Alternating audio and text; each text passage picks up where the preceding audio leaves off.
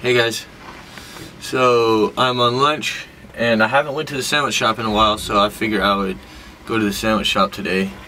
Um, it's kind of across town. It's obviously not very far because I live in a small town but it's a lot easier just to go get food on this side but um, yeah so I called it in that should make it a little easier to just swing by and pick it up and uh, I'm gonna do that and then I'll tell you all a story. So um,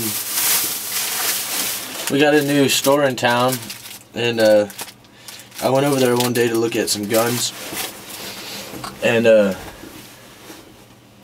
I hear somebody scream Dutch Creek Cabin! Dutch Creek Cabin! I'm like what?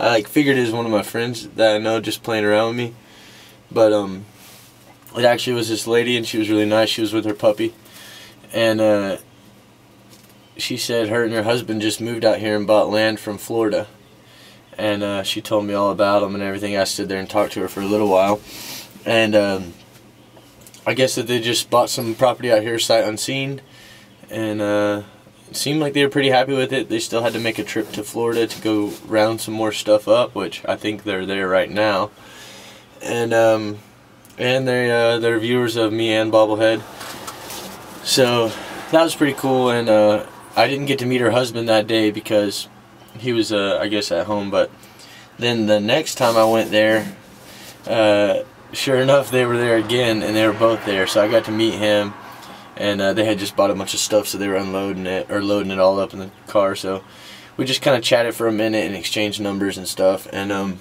they actually have a old Volkswagen bus that they brought with them from Florida. So uh, it's pretty cool. I haven't got to see it yet but I got to see pictures man and I'm really excited about it. So pretty soon we're gonna go over there and check out their place and um, after they get some stuff moved you know and whatnot.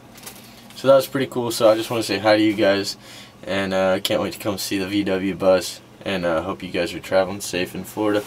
But what made me think about that was the sandwiches and um, obviously I've told you guys about the sandwiches. Well uh, they came in to work and were like hey where's that sandwich place at? Uh, and sure enough they came and tried the sandwiches and they reported back that they were very good. Uh, I didn't realize that the price had went up like 50 cents or something like that so but that's alright you know they're still worth it it's just the price of meat kind of went up so uh, anyway cool story. So what I got was uh, pepper jack cheese today roast beef lettuce onions and jalapenos on white bread. So I'm gonna tear this up. Did I say mayo? Extra mayo I'm going to tear this up and then we'll see what else we can get into before I have to get back. Alright guys, well it's kind of cold and rainy so I just kind of sat around in the truck on lunch. But um, yesterday I made a video and I was going to upload it today but I didn't want to look like a complete dummy so I didn't. I found a small patch of daffodils that hadn't bloomed yet and I was convinced that they were wild onions and when I tried to harvest them I quickly realized they weren't wild onions so I took them home. I just harvested one, but I took it home to see, just kind of figure out. And it looked exactly like an onion all the way through and through, but it was not an onion. And uh, I had one of the old timers come in here today. And uh, actually the one from my video before that said this guy knows everything. And uh, I just showed him a picture and he said, daffodil? I was like, oh, what a dummy. So uh, yeah, I'm going to refrain from uploading that video, but uh, going to cut into it now.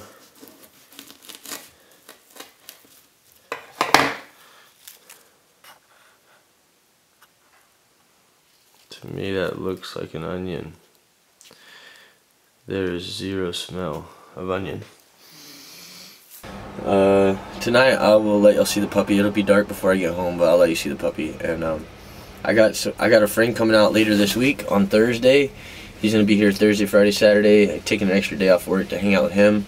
So that should be cool. We're gonna do a lot of hiking, so we should be getting into some antics. And then um, I've got another visitor coming a couple weeks after that. So uh, there's a lot to come and uh, now that we got longer days uh, it'll be it'll be a little easier to make videos you know I usually get off after dark as it is but even with the time change for now anyway I appreciate your patience hanging with me and thanks for always watching alright guys I'll show you the puppy and y'all have a good night you didn't clean today while Dave was at work? hi baby boy. Hi.